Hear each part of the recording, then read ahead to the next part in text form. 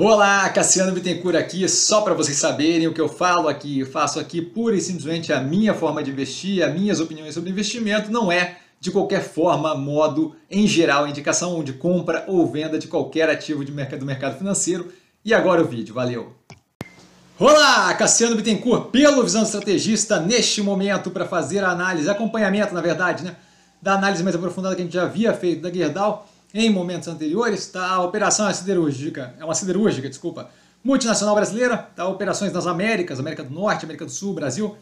Tá? A análise continua muito casada com o que foi descrito no segundo trimestre de 2021, que está aqui embaixo, vídeo na descrição. Tá? A operação vai muito bem, teve uma melhoria forte na estrutura de capital durante o período, fez um baita no trabalho ali, tá? veio com resultados bem interessantes.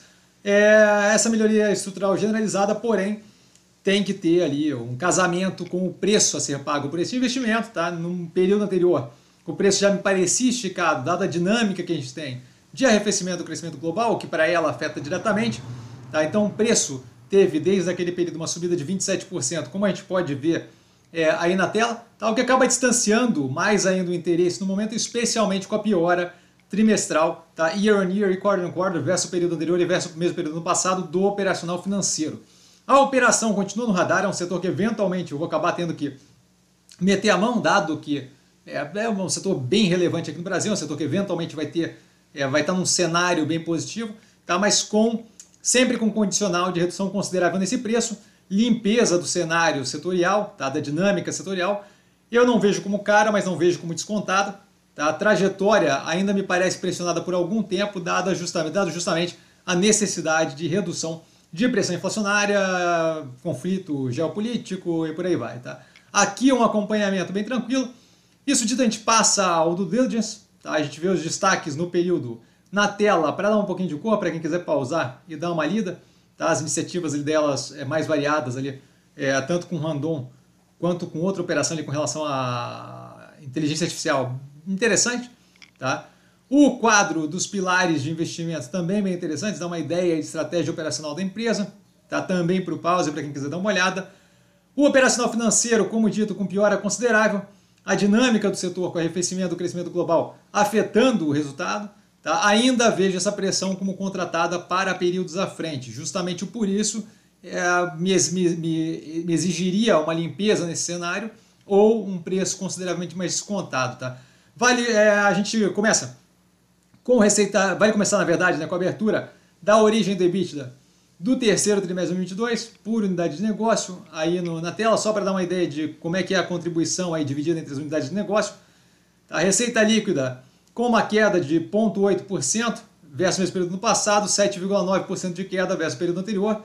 O EBITDA ajustado aí mais forte, né, com uma queda de 23,6% versus o mesmo período no passado e uma queda de 19,6% versus o período anterior a pressão que a gente comentou algumas vezes, né, que ainda deveria ter, a margem 25,4%, é, vinda do mesmo período passado de 32,9% e no período anterior em 29,1%. Então vem uma regressão, vem uma queda consistente aí, né?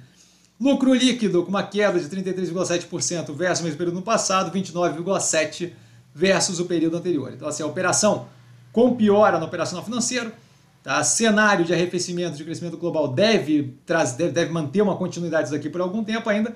Tá? E essa continuidade justamente faz com que talvez esse não seja o melhor momento para alocar aqui. Tá? O preço 27% acima do trimestre anterior é mais um ponto que me faz ver que, de fato, assim, não é um momento no qual eu tenho interesse em exposição a isso daqui.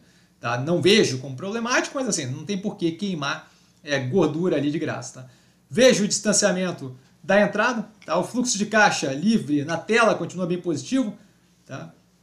Casado aí, é, com o que ela vem entregando de fluxo de caixa há algum tempo. Tá?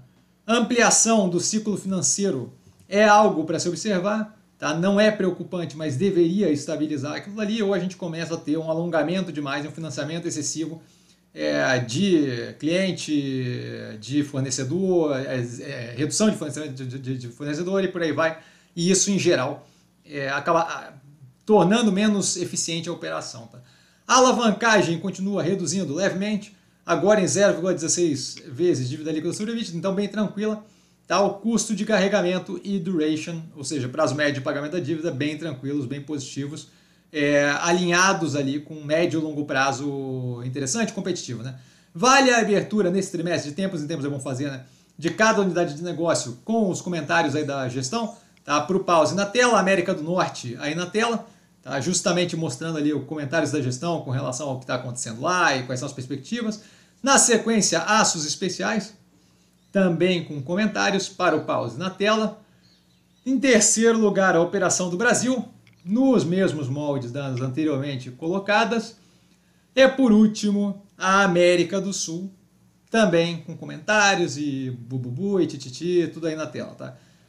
Para o pause. Finalizando a dinâmica da operação versus o preço, reduz meu interesse, o preço teve uma subida, a operação teve uma piora na operação financeira, tá? Novamente, não é nada que a operação está ruim, só o momento, o timing talvez não seja melhor, tá? Pode gerar abertura para a construção de posição paulatinamente, sim, mas eu ainda preciso ver o setor menos pressionado, então preciso de um cenário mais limpo, pelo menos de uma clareza de início de, de, de retomada, tá? E uma redução forte ou uma redução forte no preço do ativo, tá? Ou, ou, qualquer casamento entre as duas coisas, tá? Isso daí muito ainda, acho que estamos um pouco distante ainda, tá?